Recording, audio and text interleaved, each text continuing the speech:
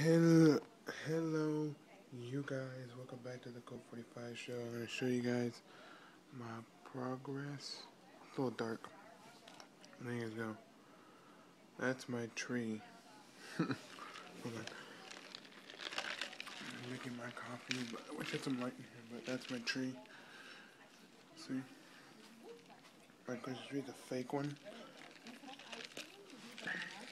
Watching the news before I go to school and stuff, but it's a fake one. Yeah, it's fake, it's not real.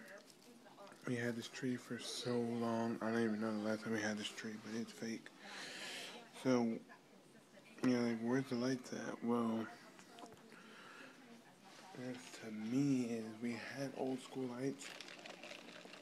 We had lights from like way back. Um, so these lights are trash. Or some lights are here are trash, and then we had ornaments. Some extension cords ornaments. So, yeah, we're gonna probably decorate it. To, we're gonna decorate it today. Skipping the gym today. I did a hard workout last night, and um, I'm just so beat. We're gonna skip. We're gonna skip the gym today, and um, I am. Yeah, we're gonna skip the gym today. I want to put this all up. It's gonna be great. The lights, and I'll show you guys after. It looks like.